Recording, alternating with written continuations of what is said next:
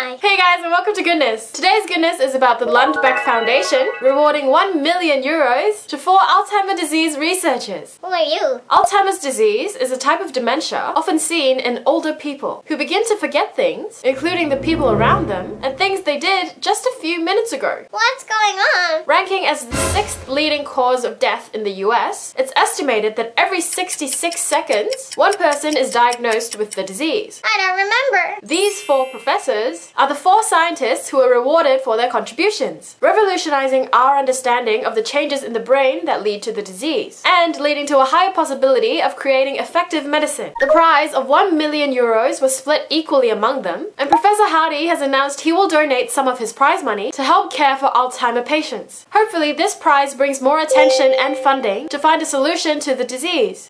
And that's today's goodness. See you tomorrow.